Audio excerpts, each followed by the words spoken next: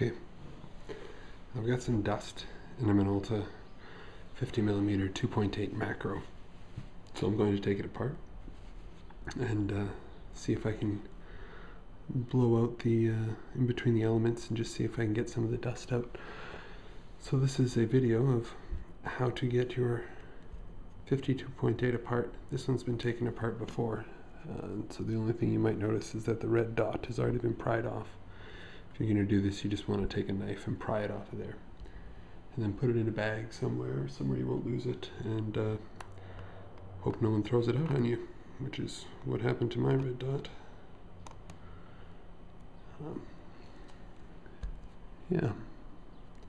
Then you're out a red dot.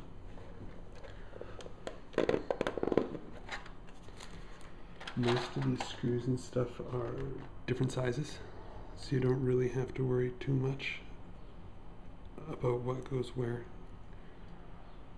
because only one size will go here or there. When you take off the contact plate, something you want to be really careful of is a little spring that's under there. It likes to pop right out, and it is small and easy to lose. So I like to do that first. You may not be able to even see it.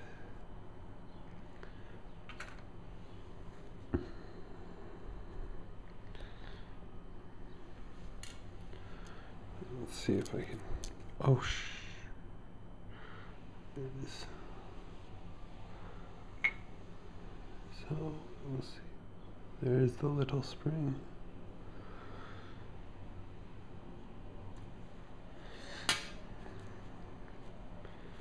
The order of some of these things doesn't really matter,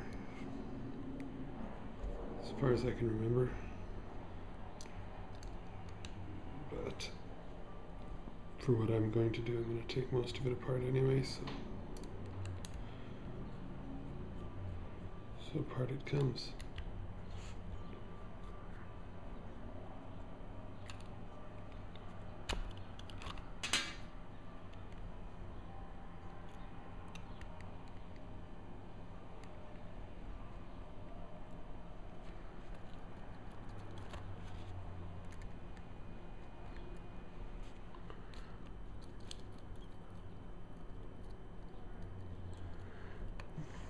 Your contact plate is bigger than the mount ring. So to get your mount ring off, you've kind of got to manipulate the contact plate so that it will slide through the smaller slot. You want to be really careful not to damage the connectors on it.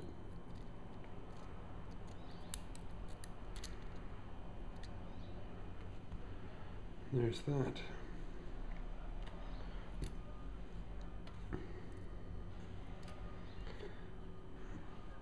So that's about all we do from there.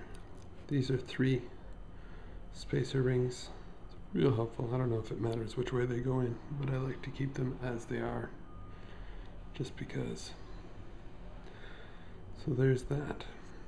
And the next thing you're to do, if you haven't taken yours apart, you'll need a knife of some kind to get under the rubberized grip and just peel it back and it'll be kind of sticky under there and it never sticks back quite the same. Okay, moving on. Once you've got that grip off, um, when you put your lens back together, you'll be able to seal that down with some rubber cement or something.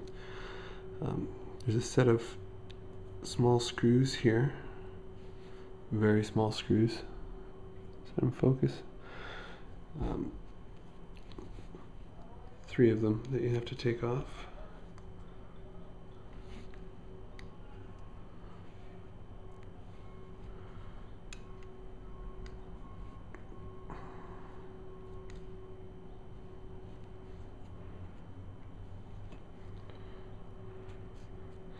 And then this whole grip is just going to slide right off. Now, if you've never taken apart your 50 2.8, there may be a big piece of foil here. A lot of times that'll cause your oops, that'll cause your whole your whole thing to stick and give you really stiff focus. So if you're experiencing stiff focus, this might be all the disassembly you need. You just pull that off, clean out the gunk, which may be jamming up your these bushings that slide through these grooves. And uh, yeah, and you're all set if that was your problem. Or if you're like me and that's not your problem, and the last time you took it apart, you introduced some dust. Then further apart we must go. These, um, when you take these screws and bushings out, you really want to make sure you have the right size screwdriver uh, because they're held in with Loctite, I think, the first time, and that makes them really sticky. And it's actually the screw heads are pretty soft metal, so you can actually damage your screw head if your screwdriver is not fine enough to get in there.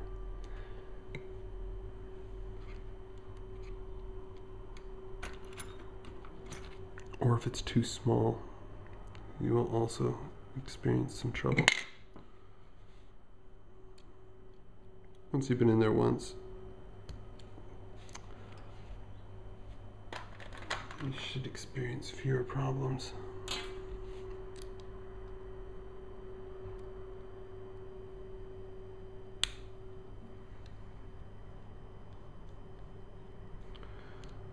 This is another one of those parts where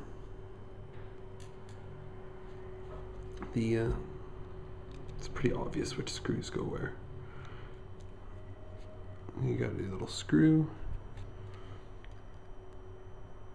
and you've got your bushing. The bushing has, uh, oops, there it is.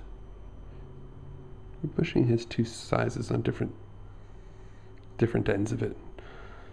The bigger end goes near the outside of the lens. And again, you can't really get them wrong on reassembly. Or if you do, it's pretty obvious. Or should be pretty obvious. Who am I to say what's obvious? These are not the right size screwdrivers.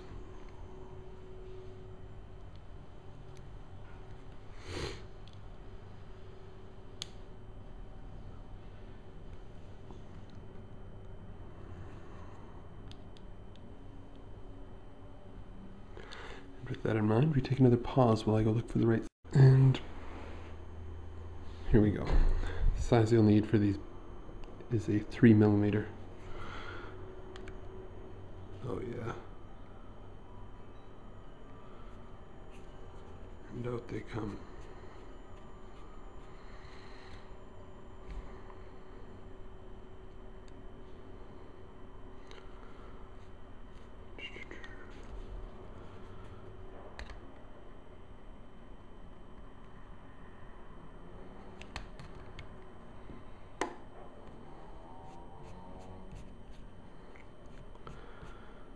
I'd love to say there's nothing that can go wrong in here. Uh, but, uh, well, I'm taking it apart because last time I was in here I got a whole bunch of dust in there. So, whoops, and there we go. Oh, we are. If you got a lot of sticking or something, it might be in this part. That's moving pretty good. So I'm not going to take that apart any further. I'm just going to have a look at this and see if there's some way I can find to blow out the dust.